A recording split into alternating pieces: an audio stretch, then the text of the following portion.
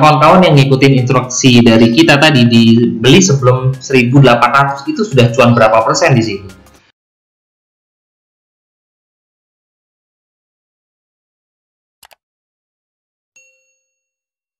Hai guys, Assalamualaikum. Bertemu lagi dengan saya Budi Oki dari Oke Saham.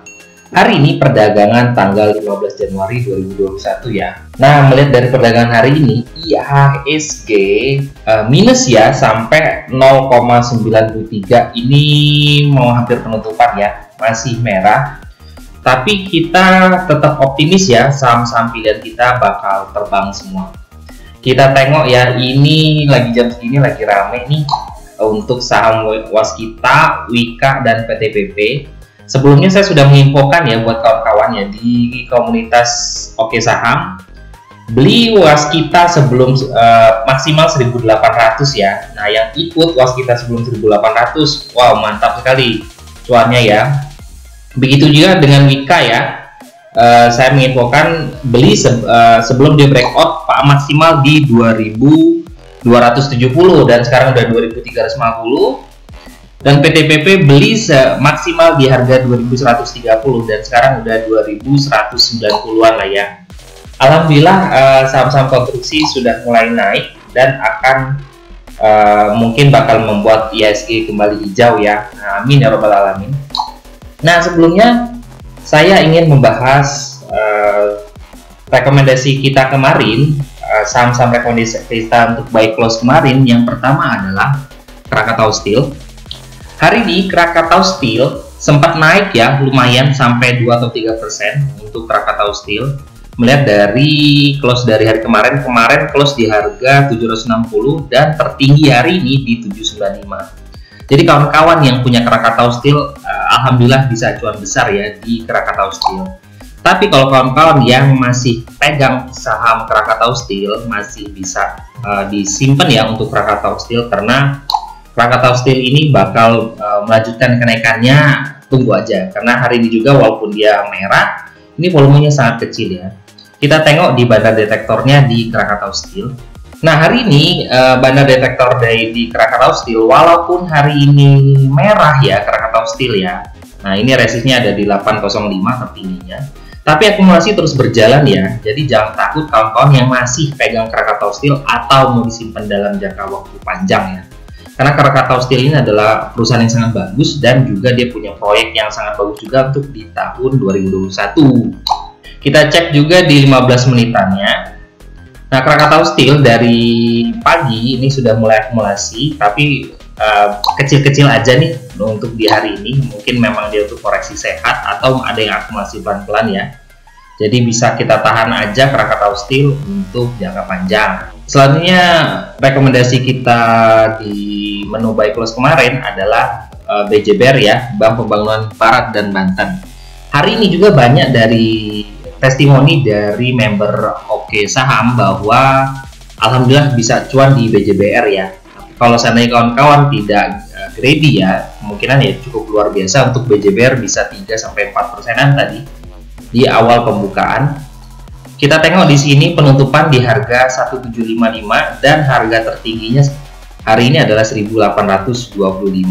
Kita tengok di bandar detektornya di BJBR. Dari bandar detektor BJBR hari ini, nah ini walaupun ya kalau kawan-kawan yang masih ada BJBR, hari ini walaupun merah ya, tapi akumulasinya tetap berjalan ya. Ini ada sedikit buangan yang mungkin ini yang membuat BJBR minus tadi, tetapi kita bisa tengok uh, saudaranya di BJBR.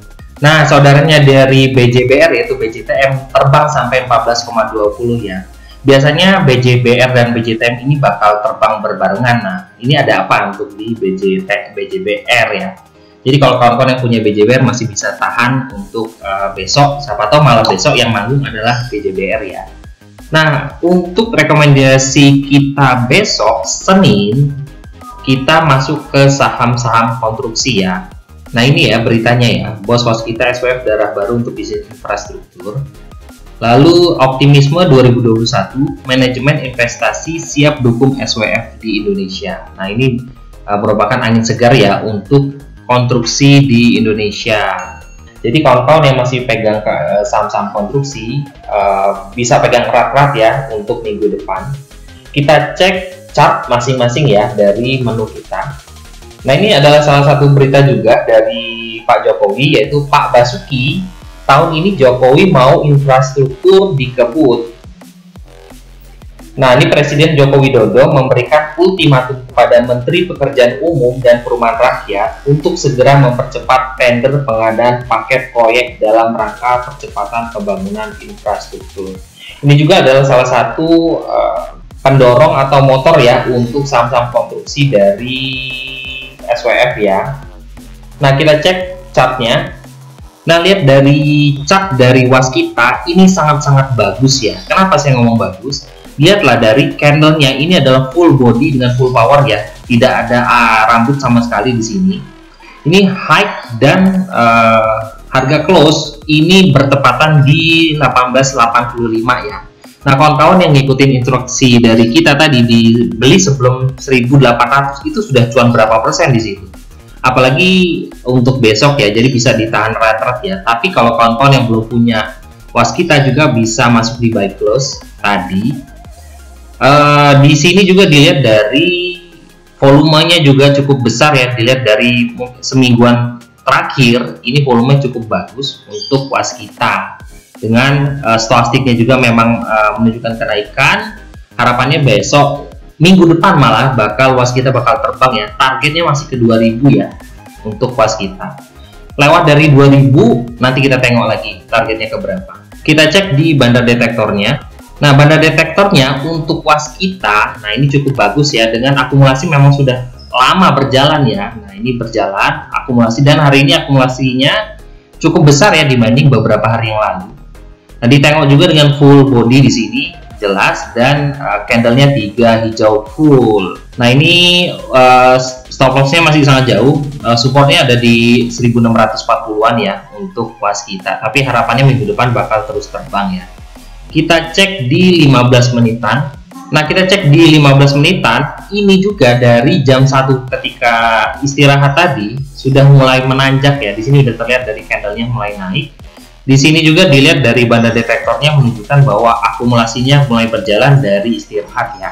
Nah harapannya sih besok bakal terus berlanjut ya untuk waskita nah untuk PTPP juga ini kita lihat chartnya. Dia sudah breakout ya di sini ya di harga 2170 dan hari ini penutupannya juga sama seperti waskita full body dengan kekuatan bagus ya uh, full uh, badannya dengan harga tertinggi dan harga close-nya di harga 2210 jadi sangat-sangat bagus ya dilihat volumenya juga cukup bagus ya nah kita cek juga di banda detektornya untuk PTPP nah ini terlihat ya PTPP beberapa hari kemarin sempat ada buangan Nah, tapi kita masih oke, okay, masih nyaman dan dia juga memang masih sideways ya. Dengan volumenya juga kemarin dan 3-4 hari kemarin sangat-sangat kecil dan hari ini menunjukkan volume yang cukup besar. Nah, ditambah dengan hijau full di sini ya. Dengan uh, candlenya juga cukup bagus ya. Harganya terharga tertinggi adalah harga close-nya. Memang menunjukkan kalau uh, saham-saham konstruksi sudah mulai bergeliat untuk naik ya kita tengok juga di 15 menitannya. Nah, di 15 menitannya dari jam 2 nih, mulai dari jam 2 tadi itu sudah mulai akumulasi ya untuk PTPP dan ditutup juga dengan uh, harga yang sangat bagus untuk PTPP.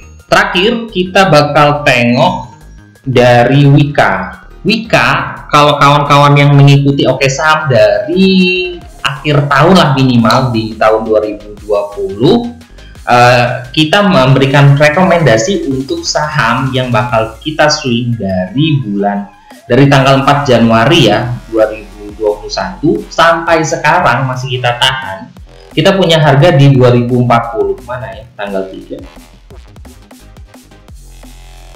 Nah di sini ya kita beli di close di harga ini di 2000 2040 dan sekarang um, sudah bergerak di harga 2360 kita cek kalau kawan-kawan yang mengikuti menu swing oke saham dari tanggal uh, eh, 4 Januari menu swing kita di Wika sudah sampai di 15,61 persen ya kita tengok di sini Jadi uh, harapannya memang bakal terus berlanjut ya untuk Wika. Jadi minggu depan bakal kita pegang erat-erat juga untuk Wika.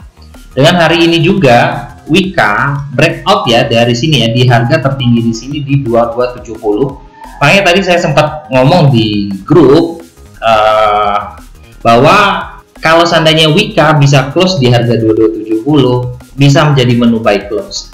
Apalagi setelah tadi jam kisaran jam 2 saya juga sempat uh, kasih tahu ke kawan-kawan cepat ambil uh, saham PTTP, Wika, dan WSKT sebelum naik dengan harga tertinggi sekian.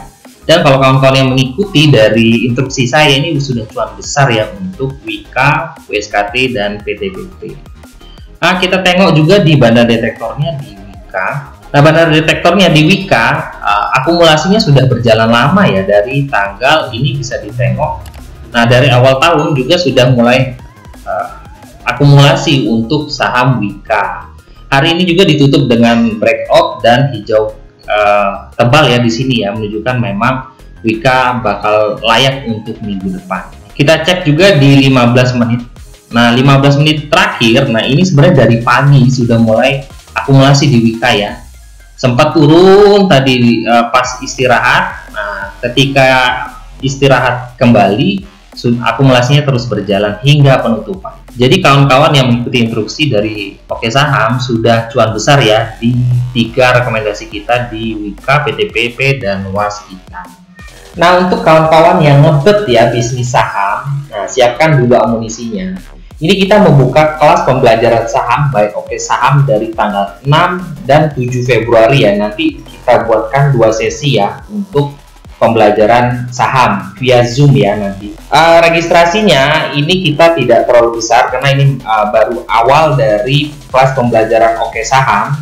Nah, kita buka dari, dari tanggal 17 sampai 23 Januari itu uh, buat tonton yang daftar di tanggal tersebut kita berikan harga diskon ya sebesar dan kalau kawan-kawan yang masih uh, berpikir-pikir dan uh, mungkin bakal registrasi di, dari tanggal 24 sampai 31 Januari, registrasinya sebesar. Dan kalau kawan-kawan yang masuk di injury time uh, untuk pendaftaran di tanggal 1 sampai tanggal 5 Februari itu kita kenakan. Dari semua registrasi ini ini sangat-sangat murah ya kalau menurut saya. Kenapa? Karena dulu ketika saya belajar saham dari banyaklah tempat, tidak perlu saya sebutkan juga. Uh, sekali saya belajar saham itu uh, bisa memakan wah, biaya kisaran puluhan juta. Ada yang sampai uh, sekali belajar kisaran 3 juta, ada yang 5 juta, ada ketika saya dulu sampai saya mondok di tempat ketika saya ingin belajar saham itu saya mengeluarkan biaya lebih dari 10 jutaan ya selama cuma belajar selama satu minggu. Nah dengan registrasi ini kawan-kawan dengan harga yang sangat uh, murah meriah ini dari keuntungan dari hari ini adalah keuntungan dari contoh keuntungan dari keras aja sudah ketutup ya.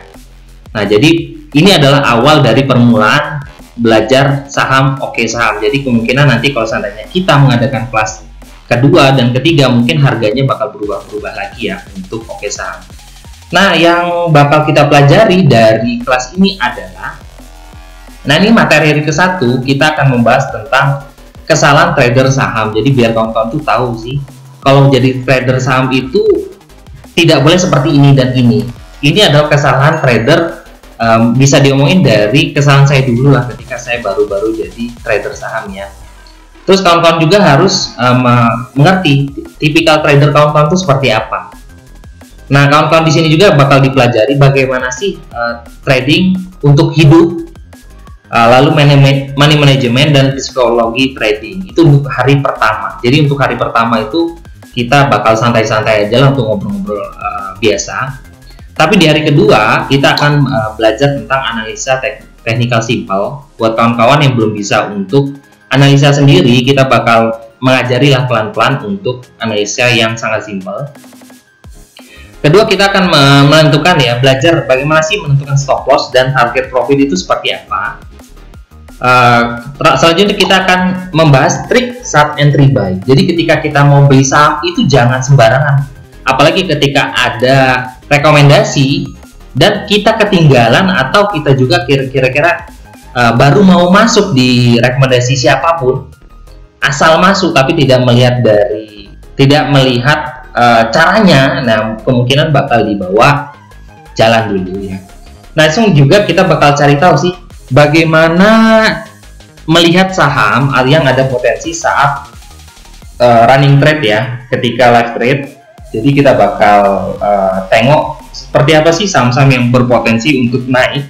Jadi kalau kawan-kawan yang ingin belajar scalper, nanti juga bakal kita ajari ya pelan-pelan. Yang kelima adalah trik screening saham untuk buy close. Jadi kita kira-kira uh, triknya ini bagaimana sih supaya kita bisa tahu saham itu besok bakal naik atau enggak sih gitu. Jadi sini bakal kita bahas juga selama dua hari. Nah kalau kawan-kawan yang daftar dari kelas kita, ini kita bakal memberikan fasilitas ya fasilitasnya adalah di sini ya fasilitasnya adalah nanti bakal kawan-kawan bakal uh, kita masukkan grup premium yang selama tiga bulan jadi nanti selama tiga bulan kawan-kawan bakal kita tuntut kita bimbing. Nah kalau seandainya kawan-kawan tidak mungkin tidak punya feel di grup kita selama tiga bulan ini ya tidak usah diperpanjang grup kita. Jadi kawan-kawan bisa keluar dari situ.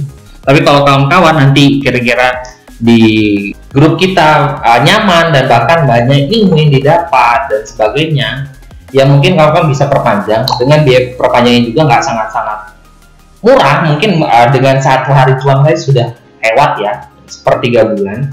Nah kawan-kawan juga bisa konsultasi terhadap uh, portofolio kawan selama 24 jam lah. Kalau seandainya saya lagi senggang pasti saya balas jadi juga bakal uh, menu live trade ya ketika live trading. Kira-kira ada saham yang kira-kira bagus nanti bakal kita share di grup premium tersebut ya dan kalau kawan-kawan ya ketika belajar di pertama kali nanti di materi hari satu dan materi kedua dan mungkin kepengen belajar lagi sih nah ketika kita buka kelas pembelajaran kembali kawan-kawan bakal ikut uh, belajar kembali secara gratis.